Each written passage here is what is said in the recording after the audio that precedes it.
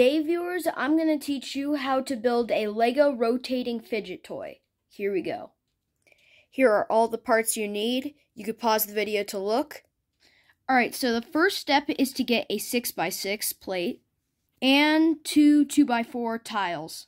You're going to want to place them on like this. Perfect. Next, you're going to want to get eight 1x2s and put them on like this. After you're done placing your 1x2s, you should have something looks like this. Next, you're going to want to get a 1x4 to finish the ring around the outside. Next, you want to get one by two 1x6 plates and place them on like this. Next, get two 1x4 plates and place them on like this. Done. Now you have a ring around the outside that's smooth. Next, get any colors of 2x2s, get three of them, so here they are, and place them in like this. So put two next to each other, and then make like a kind of like an L shape. The last thing, and the last thing you need is this, because if you made mistakes, you could take it apart. But now you have a working, rotating fidget.